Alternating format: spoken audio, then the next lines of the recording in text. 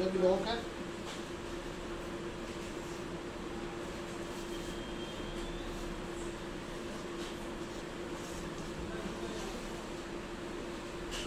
यहाँ से इसका लॉक खुलता है। बाहर निकाल देंगे, ये लीवर को। इसका लॉक खुल जाएगा उसको आप ये बटन है उसका